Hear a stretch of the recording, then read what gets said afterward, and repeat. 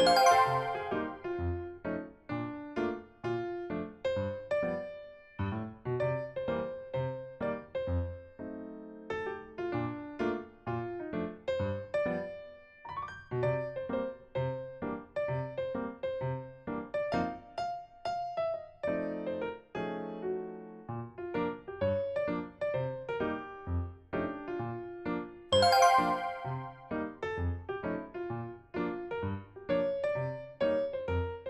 はい本日の夜ご飯完成です。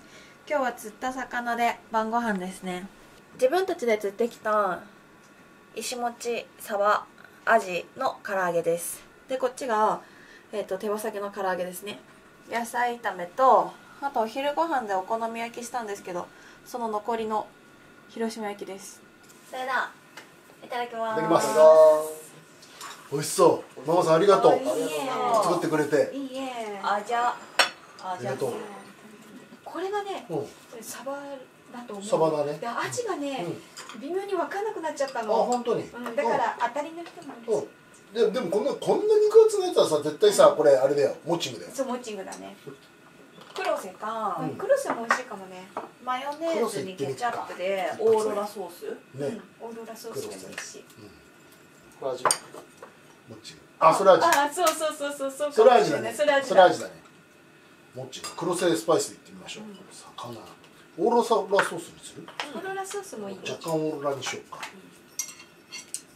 やる？うんななんか黒瀬に似てるって言ってた。堀堀西、うん。西堀？あ違う。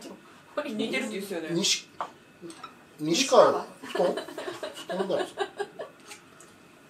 うわ身が柔らかいんだ。うんなんか柔らかい魚って書うんいてあったけど、うん石餅。水分が多いとかうんうんうんうん。って書いてあったよ、だね本当家族全員で釣ったモッチングそうモッチング、うん。どうよ。うん。柔らかい。身が柔らかい本ね。当うん。前塩焼きにしたんだよね、うん。白身魚で。うんね。うん。うん柔らかい。柔らかいね。うんふわふわ。ふわふわだねほんふとふわだね白身魚の中でもすごいふわふわだね、うんふわふわだね。うん。これはチキン。唐揚げ？うん、うん、なんか粉が前買ったって、うんうん。なんだっけな。フライドチキン？うん。の粉だうんったのかもしれない。うん。チキン美味しい。美味しいうん。なんか周りがカリカリだね。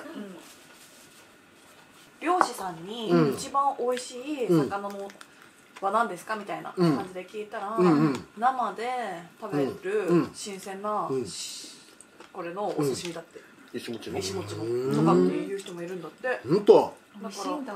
刺身刺身は美味しいのかもね。うん。ああそうなんだ。うん。淡白だよね。うん。うん味が。揚げ物なんかうん。うん。本当だね。なんか鰹節ってさ、うんうん。削りの鰹節が多いじゃん。うんこうなんか鰹をさそのまま一本乾かしましたみたいなうん。やつでさ、うん。するやつ、うん。するって書くっていうの、うん。あんまないよね。あんまりない。んだてかやったことすらないし見たことないし。子供の頃はよくやってたよ。えーそうなんだ。その言い方ね。えー、そうなんだ。えママの時代ってそうなんだ。そうやってたよ。うんでやってとかって言われて。うんうんじゃないよ。そうなんだ。うんじゃないよ。でさ最後になるとさこんなちっちゃくなっちゃってさ、うんしゃぶるんだよね、飴みたいにってこと？うん。なんかえガリガリガリガリみたいな。マジで、うん。俺ちっちゃいやつ最後しゃぶったことはないな。本当？うん。昔ってそうだったんだねじゃあね、うん、うん。こういう風になって売ってなかったと思う、うん。削り節って。そうなんだ ねどこまでそうやって白を切ろうとするの？だって鰹節っつうのはだって子供の仕事みたいなとこあったんじゃないの、やりたかったし逆にね、うん。あそうなんだ、うん。カリカリ。結構好きだったしあれ、うん。だって今の時代パックで買ってる家の方が多いのかなって思うよね,、だって見見なくない？うん。かつお節一本まんまで売ってるの、うん。見ない。うんまず普通のスーパーじゃね、うん。だけどかつお節毎回使うためにね、うん。やるのって面倒なんだろうね、うん。だから今売ってないんだろうね、うん。あんまり。うん。でもなんかやりたいなと思ってうん。意外と高かった。うん。機械自体が各なんかうん。木のやつ箱？うんうんカンナみたいなやつ。うんうんあれ高かった。高かっ意外と値段するんだじゃんどこかの雑貨屋さんですごいミニとかってさ、うん。ミニのやつが売っててさめちゃくちゃ可愛かったよ。うん。時代が違うよな。ううん。ちなんか一番最初に電話ついた時黒電話のダイヤルだったの。けどさ今の世代のさうん。高校生とかさ中学生の子ってさ公衆電話すら使ったことないんじゃない？ああそうかな。うん。てかちっちゃい頃なかったよ電話俺。家ちっちゃい頃に取り付けに来た多分そんな感じがしないでもないな。本当。うん。それではごちそうさまでした。ありがとうございました。自分たちで釣った魚ママさんが作ってくれたご飯大変美味しかったです。ピンピラピン。ピラピンピラピン。それではバイバーイ